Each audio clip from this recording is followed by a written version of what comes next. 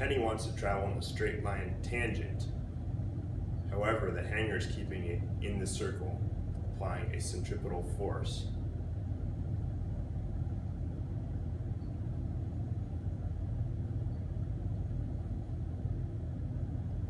See how fast I can go.